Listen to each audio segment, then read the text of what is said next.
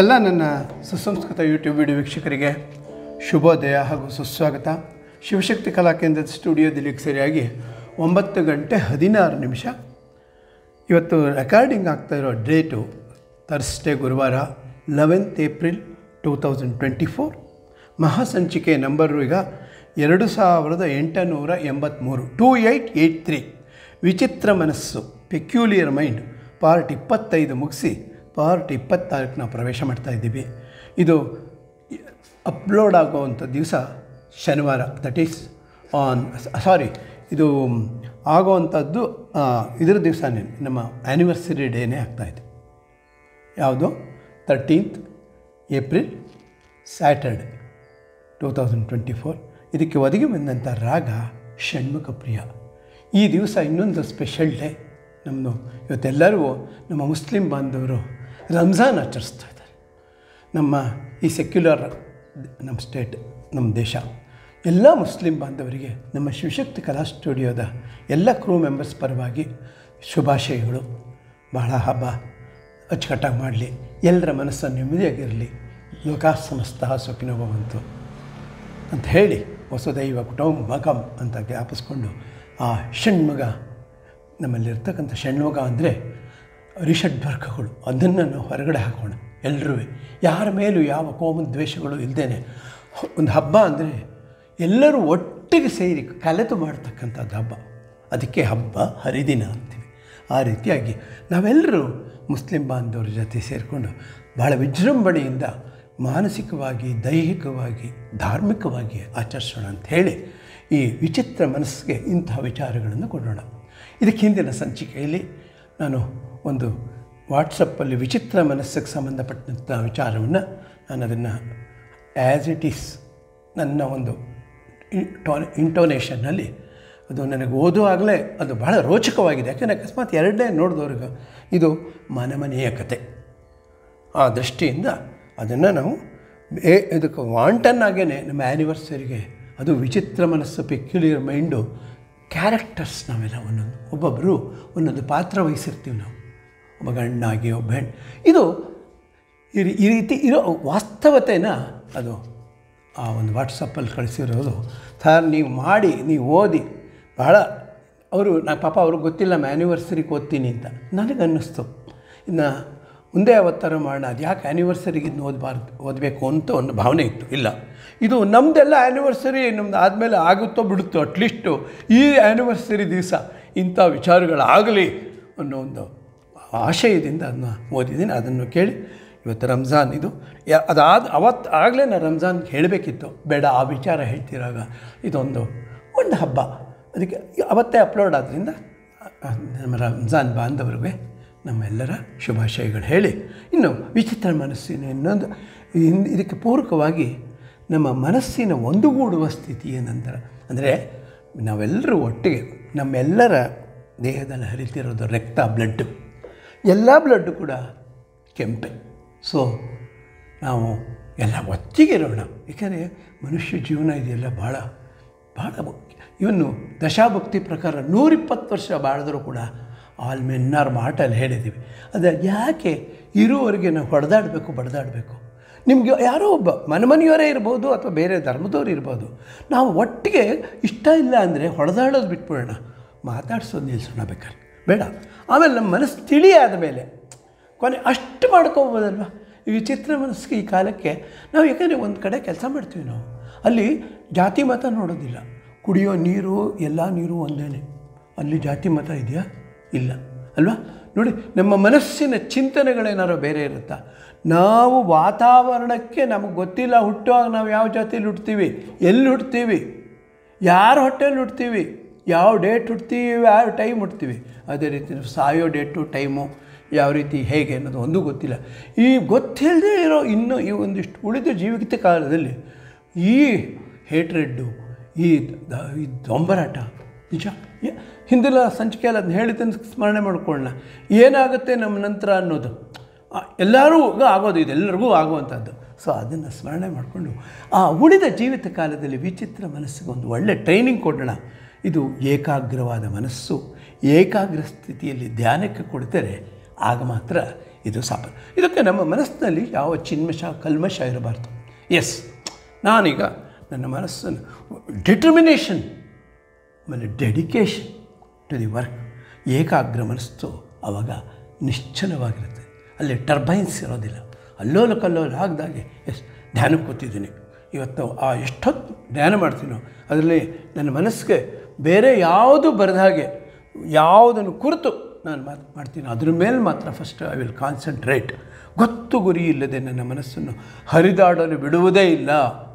ಇಂತಹ ಸ್ಥಿತಿಯಲ್ಲಿ ಮನುಷ್ಯನು ತನ್ನ ಹೃದಯ ಕಮಲದಲ್ಲಿ ಆನಂದದಾಯಕ, ಕರುಣಾಪೂರ್ಣ, ಕೃಪಾದಾಯಕ, ಮುಗುಳು ನಗುವ ಇಷ್ಟ ದೇವತೆಯನ್ನು ಯಾವಾಗಲೂ ಕಾಣು. ಇದಕ್ಕೆ ಬರೋ ಅಂಥದ್ದು ನೋಡಿ.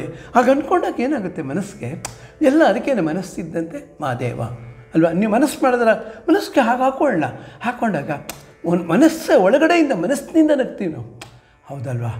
ಅಟ್ಲೀಸ್ಟ್ ಕೊನೆ ಪಕ್ಷ ನಾನು ಇಷ್ಟು ದಿವಸ ಇಂಥ ಒಳ್ಳೆ ಅಮೂಲ್ಯ ಕ್ಷಣಗಳನ್ನೆಲ್ಲ ಕಳ್ಕೊಂಡಲ್ಲ ಅನ್ನೋ ಭಾವನೆ ಬಂದಿಟ್ಕೇನೆ. ಆಮೇಲೆ ಕೆಲವು ತಮಾಷೆಯಾಗಿ ತೊಗೋಬೇಕು. ಹೇಗೆ ನಾನು ಈಗ ಇಷ್ಟು ಚೆನ್ನಾಗಿದ್ದೀನಿ. ಆಗಲೂ ಇದ್ದಿದ್ದಿದ್ದಿದ್ದಿದ್ದರೆ ನೋಡಿ ಎಷ್ಟು ಚೆನ್ನಾಗಿದೆ. ಆ ರೀತಿಯೇ ಮನಸ್ಸನ್ನ ಇಟ್ಕೊಂಡಿದ್ರೆ ಇನ್ನಷ್ಟೇ ಎಷ್ಟು ಆನಂದದಾಯವಾಗಬೇಕಿತ್ತು ಅಂದ್ಕೊಂಡು ನೆಕ್ಸ್ಟ್ನೇ ನೆಕ್ಸ್ಟಾಗ ಅದು ಕ್ಯಾರಿ ಓವರ್ ಆಗುತ್ತೆ. ಹೌದಲ್ಲ? ಇನ್ನು ವೇಸ್ಟ್ ಮಾಡೋದು ಬೇಡ. ವಾಟ್ ಹ್ಯಾಸ್ ಹ್ಯಾಪನ್ ಹ್ಯಾಸ್ ಅಂತ ಹೇಳಿ ಇದು ಕೊನೆಯೇ ಇಲ್ಲದ ಒಂದು ಇನ್ನು ಉಳಿ ಯಾವತ್ತೋ ಒಂದು ದಿವಸ ಇದು ರಿಯಲೈಸ್ ಆದಕ್ಕೆ ಆಮೇಲೆ ಅದು ಅದರ ರುಚಿ ಕಂಡುಬಿಟ್ರೆ ಆನಂದದ್ದು, ಅದರ ಅನುಭವ, ಅದರ ಸ್ವರೂಪನೇ ಬೇರೆ. ಇದು ನಾನು ಹೇಳಿರೋದಿಲ್ಲ. ದೊಡ್ಡ ದೊಡ್ಡ ಮಹಾನುಭಾವರುಗಳು ಅಚೀವ್ ಮಾಡಿದವರು ದಾಖಲಿಸಿರ್ತಕ್ಕಂಥದ್ದು. ಇದು ಕೇವಲ ಏಕಾಗ್ರ ಸ್ಥಿತಿಯಲ್ಲಿ ಸಾಧ್ಯ. ಒಬ್ಬ ವ್ಯಕ್ತಿ ಈ ಸ್ಥಿತಿಯಲ್ಲಿ ಬಹಳ ಮೊದಮೊದಲು ಒಂದು ನಿಮಿಷ, ಎರಡು ನಿಮಿಷ ಆಗುತ್ತೆ. ಆಮೇಲೆ ಏನಾಗುತ್ತೆ? ಅದು ಅಭ್ಯಾಸ ಏನು ಕೌಂತೆಯ? ಅಭ್ಯಾಸ ಮಾಡ್ತಾ ಮಾಡ್ತಾ ಮಾಡ್ತಾ ಬಹಳ ಹೊತ್ತು ಇರಬಲ್ಲವನಾದರೆ ಮುಂದಿನ ಸ್ಥಿತಿಯಾದ ನಿರುದ್ಧ ಸ್ಥಿತಿಗೆ ತಯಾರಾಗ್ತಾನೆ. ಯಾವತ್ತೂ ಒಂದು ಒಳ್ಳೆ ಡೇ ಅದು ಶುರುವಾಗ್ಬಿಡುತ್ತೆ. ಮಾಡಬೇಕು, ಕಾಯ್ತಾ ಇರಬೇಕು. ಬಂದು, ಎತ್ಕೋತಾನೆ ಬರೋಲ್ಲ. ಅದನ್ನು ಹೇಳಿದ್ದೀನಿ ಆಗಲೇ. ಅವರು ಹೇಳಿದ್ದಾರೆ, ಯಾನಿಗಳು ಹೇಳಿರೋದು. ಅದು ಮನಸ್ಸಿರೋದೆ ಚಂಚಲ, ಚಂಚಲಸ್ಯ ಮನಃಕೃಷ್ಣ ಅಂತಾನೆ. ಅರ್ಜುನನೇ ಅದನ್ನೆಲ್ಲ ಒಂದು ಕಡೆ ಹಿಡಿದು ಕಟ್ಟಾಗ್ತಾ ಇರಬೇಕು. ಆಮೇಲೆ ಅದಕ್ಕೆ ಅದು ರುಚಿಗೆ ತೋರಿಸ್ಬೇಕು. ಆಗ ಆ ಸ್ಥಿತಿಯಲ್ಲಿ ಬಹಳ ಹೊತ್ತು ಇರಬಲ್ಲವನಾದರೆ ಮುಂದಿನ ಸ್ಥಿತಿಯಾದ ನಿರುದ್ಧ ಸ್ಥಿತಿಗೆ ತಯಾರಾಗುತ್ತಾನೆ. ಈ ಸ್ವಾಮೀಜಿಗಳೆಲ್ಲ ಏನು ಹೇಳ್ತಾರೆ ಅಂದರೆ, ಈ ಸ್ಥಿತಿಯಲ್ಲಿ ಒಬ್ಬ ಸಾಧಕ ಇನ್ನು ತನಗೆ ಹುಟ್ಟು ಸಾವುಗಳಿಲ್ಲ. ತಾನು ತನಗೆ ಮುಕ್ತನಾಗಿದ್ದೇನೆ ಎಂಬ ಅನುಭವವನ್ನು ಪ ಬದುಕಿರುವಾಗಲೇ ನಾವು ಒಂಥರ ಜೀವನ ಮುಕ್ತರು ಅನ್ನೋ ಒಂದು ಆನಂದ ತಗುತ್ತೆ ಈ ಬದುಕಿರುವಾಗಲೇ ಅದಕ್ಕೆ ಕೆಲವರು ಅವ್ರನ್ನ ನಾವು ಜೀವಂತ ದಂತಕಥೆಗಳು ಅಂತೀವಿ ಈಗಲೂ ಇದ್ದಾರೆ ಎಷ್ಟೋ ಜನ ನಮ್ಮ ನಡುವೆ. ಆದರೆ ಕೇವಲ ಎಲ್ಲ ಧರ್ಮದಲ್ಲೂ ಒಬ್ಬೊಬ್ಬರು ಇಬ್ಬಿಬ್ಬರು ಅಷ್ಟೇ ಇದನ್ನು ಪತಂಜಲಿ ಹೇಳುವ ಈ ಐದು ಮನಸ್ಥಿತಿಗಳು ಆಗಲೇ ನಾನು ಹಿಂದಿನ ಸಂಚಿಕೆಯಲ್ಲಿ ಹೇಳ್ತಿರುವಂಥದ್ದು. ಯಾವುದು?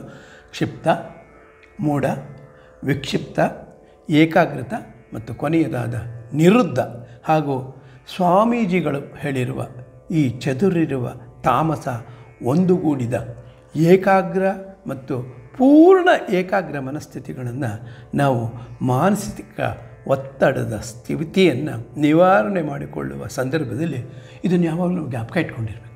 ಅದಕ್ಕೆ ಷಣ್ಮುಖ ಪ್ರಿಯ ಸಿಗ್ನೇಚರ್ ಟ್ಯೂನು ಅಂದರೆ ಒಳಗಡೆ ಆರು ಮುಖಗಳು ಯಾವುದಪ್ಪ ಅಂತೆ ಅದರಲ್ಲಿ ಕಾಮ, ಕ್ರೋಧ, ಲೋಭ, ಮೋಹ, ಮದ, ಮಾತ್ಸರ್ಯ ಇವುಗಳನ್ನು ತೊಡೆದು ಅದು ಮೂಲಾಧಾರ ಸ್ವಾದಿಷ್ಠಾನ ಮಣಿಪುರ, ಅನಾಹತ, ವಿಶುದ್ಧ, ಆಜ್ಞಾಚಕ್ರಕ್ಕೆ ತಗೊಂಡು ಆಮೇಲೆ ಸಹಸ್ರಾರಕ್ಕೆ ಆ ಮನಸ್ಥಿತಿಯಲ್ಲಿ ಸುಧಾ ಸಾರಾಭಿವರ್ಷಿಣಿ ತಟಿಲ್ಲತ ಸಮರುಚಿ ಷಟ್ಚಕ್ರೋ ಪರಿಸಂಸ್ಥಿತ ಮಹಾಶಕ್ತಿ ಕುಂಡಲಿನಿ ಬಿಸತಂತು ತನಿ.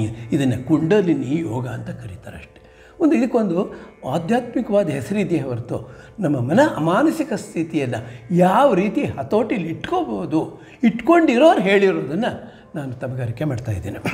ಇವತ್ತಿನ ಈ ಮಾನಸಿಕ ಒತ್ತಡ ಸ್ಥಿತಿಯನ್ನು ನಿವಾರಣೆ ಮಾಡಿಕೊಳ್ಳುವ ಸಂದರ್ಭದಲ್ಲಿ ನಮಗೆ ಯಾವುದಾದ್ರು ಒತ್ತಡ ಬಂದೇ ಬರುತ್ತೆ. ಸಣ್ಣ ನಮ್ಮ during the course of our business day to day ಈ ಈ ನೆಕ್ಸ್ಟ್ಗಳಿಗೆಲ್ಲ ಏನು ಬರುತ್ತೆ ಅನ್ನೋದು ಖಂಡಿತ ಯಾರಿಗೂ ಗೊತ್ತು. ಊಹಿಸೋಕ್ಕೆ ಆಗೋಲ್ಲ. ಆಗ ಈ ಮಾನಸಿಕ ಸ್ಥಿತಿಯನ್ನು ನಾವು ಅಭ್ಯಾಸ ಮಾಡಿಟ್ಕೊಂಡ್ರೆ ಅದು ನಿಮ್ಮ ಖಂಡಿತ ನಮ್ಮ ನೆರವಿಗೆ ಬರುತ್ತೆ. ಪ್ರತಿದಿನವೂ ಈ ರೀತಿಯ ಒಂದು ಆತ್ಮಾವಲೋಕನ ಮಾಡಿಕೊಳ್ಳಬೇಕು. ಇವತ್ತಿನ ಕೆಲಸ ಆರಂಭಿಸುವ ಮೊದಲು ನಾನು ಕ್ಷಿಪ್ತ ಅಥವಾ ಮೂಢ, ಮೊದಲು ಶುರುವಾಗುತ್ತೆ. ಕ್ಷಿಪ್ತ ಅಥವಾ ಮೂಢ ಮಾನಸಿಕ ಸ್ಥಿತಿಯಲ್ಲಿ ಇದ್ದೀನಿ. ನಮ್ಮನ್ನು ಪ್ರಶ್ನೆ ಇವತ್ತು ಹೇಗಿದ್ದೀನಿ ಈಗ? ಹ್ಯಾವ್ ಹೌಸ್ ಯಾಕೆ ಹೇಳ್ತಾರೆ, ನಿನ್ನ ಈಗಿನ ಮಾನಸಿಕ ಸ್ಥಿತಿ ಆಗಿದೆ ಅಯ್ಯೋ, ಅದು ಇದ್ದಿದ್ದೆ, ಬೇಡ. ನನಗೆ ನಿನ್ನೆ ಆನಂದ ಸಿಗ್ತಲ್ಲ ಆ ಸ್ಥಿತಿಗೆ ನೇರವಾಗಿ ಹೊಟ್ಟೋಣ ಹಾಗೆ ಆಗೋಯ್ತು, ಎಷ್ಟು ಸತಿ ಕೆದಕಿದ್ದೆ ಕೆದಕೋದು ಆಗೋಯ್ತು ಅದು. ಅನ್ನೋ ಭಾವನೆ ನಮ್ಮ ಲೌಕಿಕವಾಗಿ ಹಾಕ್ಕೋಬೇಕಂತೆ. ಆಗೋಯ್ತು ಇದು. ನಾನು ಇವಾಗ ಒಂದು ಸತಿ ನೀರು ಹರಿದೋದ್ಮೇಲೆ ವಾಪಸ್ ತೊಗೊಳಕ್ಕಾಗಲ್ಲ ಒಂದು ಟೂತ್ ಪೇಸ್ಟ್ ಟ್ಯೂಬ್ನಲ್ಲಿ, ನಾವು ಪೇಸ್ಟ್ ನಮಗೆ ಪುಟ್ಟ ಮೇಲೆ ಹೋಯ್ತದು. ಇಲ್ಲ, ಇದು have to use it or throw it so ಆ ಥರ ಅನ್ಕೋಬೇಕು. ಆಯಿತು, ನಮ್ಮ ಮೈಂಡನ್ನು ಸಾಕಷ್ಟು ಸ್ಕ್ವೀಸ್ ಮಾಡಾಗಿದೆ ಈ ವಿಚಾರಕ್ಕೆ. ಹೊಸ್ತ ಫಸ್ಟ್ ಕ್ಲಾಸ್ ಆಗಿರೋದು. ಹೊಸ್ತು ತುಂಬ್ಕೊಳ್ಳೋಣ ಅನ್ನೋ ಮಾನಸಿಕ ಸ್ಥಿತಿ. ಇವತ್ತಿನಿಂದ ಈ ರೀತಿ ಅವ ಆತ್ಮಾವಲೋಕನ. ಇವತ್ತು ತದಿಗೆ ದಿವಸ. ನಮ್ಮ ಚಾಂದ್ರಮಾನಿ ಆಗಾದಿ. ಮೂರನೇ ದಿವಸ. ಆಮೇಲೆ ನಮ್ಮ ರಂಜಾನ್ ಬಂದ್, ಬಾಂಧವರ ಜೊತೆ ಹಬ್ಬದ ವಾತಾವರಣ. ಎಲ್ಲರೂ ಕೂಡ irrespective the caste colour creed ನಾವೆಲ್ಲ ಮಾನಸಿಕ ಹಾಕ್ಕೊಂಡ್ರೆ ನಮ್ಮ ಮನಸ್ಸು ಎಷ್ಟು ಪ್ರಫುಲ್ಲವಾಗಿರುತ್ತೆ ಅದನ್ನ ಎಂಜಾಯ್ ಮಾಡಿದ್ರೆ ಗೊತ್ತಾಗುತ್ತೆ ಅಂತ ಹೇಳ್ತಾರೆ. ಹಾಗೆ ಏನಾದರೂ ಇದ್ದರೆ ಅಂದು ಈ ಕ್ಷಿಪ್ತ ಮನಸ್ಥಿತಿ, ಅಂದು ನಮ್ಮ ಮನಸ್ಸಲ್ಲಿ ಕೆಟ್ಟದ್ದು ಇಟ್ಕೊಂಡ್ರೆ ಒಂದು ನಮ್ಮ ಈ ಮನಸ್ಸು ಅನ್ನೋದು ಅಥವಾ ನಮ್ಮ ದೇಹ ಅನ್ನೋದು ಒಂದು ಪಾತ್ರೆ. ಅಂದರೆ ಮುಂಚೆ ಎಲ್ಲ ಕಲಾಯಿ ಮಾಡಿಸ್ತಾ ಇದ್ರು.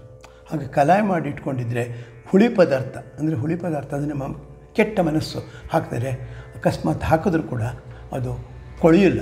ಅಥವಾ ಅದು ಹಳಸಲ್ಲ ಪಾತ್ರೆ, ಈ ಮನಸ್ಸು ಅನ್ನೋ ಒಂದು ಪಾತ್ರೆಯಲ್ಲಿ ಒಂದು ಸೊಗಸಾದ, ಅದಕ್ಕೆ ಒಳ್ಳೆ ಕಲಾಯಿ ಮಾಡಿ ಇಟ್ಕೊಂಡಿರ್ಬೇಕು. ಈಗಿಲ್ಲ ಕಲಾಯಿ ಮಾಡೋದು, ಎಲ್ಲ ಸ್ಟೀಲ್ ಪಾತ್ರೆಗಳದ್ದು ಚೆನ್ನಾಗಿದೆ, ಅದರಲ್ಲಿ ಏನು ಹಾಕಿದ್ರು ತಡ್ಕೊಳ್ಳುತ್ತೆ. ಆ ರೀತಿ ಸ್ಟೀಲ್ ಆಗಿರಲಿ ನಮ್ಮ ಮನಸ್ಸು.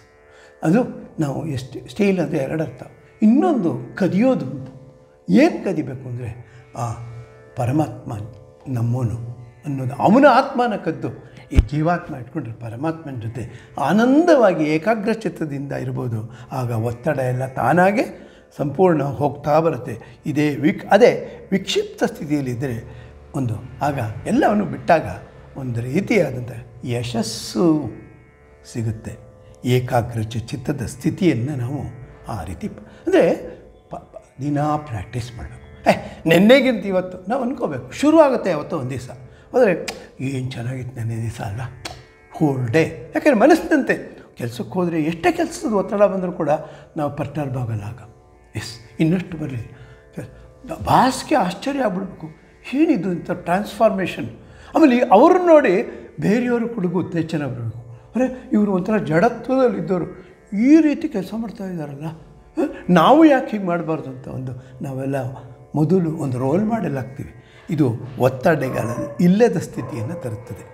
ಮನಸ್ಸು ಕೆಲಸ ಮಾಡುವ ರೀತಿ ಮತ್ತು ಅದು ಶರೀರದ ಮೇಡ ಮಾಡುವ ಪರಿಣಾಮ ಇವುಗಳ ಅರಿವಿನಿಂದ ನಮ್ಮ ಮಾನಸಿಕ ಒತ್ತಡವನ್ನು ನಿಯಂತ್ರಿಸಲು ಸಹಾಯವಾಗುತ್ತದೆ. ಇನ್ನೇನು ಇದನ್ನ ನಾವು ಯಾರಿಗೂ ಇದರಿಂದ ಇನ್ನೊಬ್ರಿಗೆ ಸಹಾಯ ಮಾಡೋಲ್ಲ.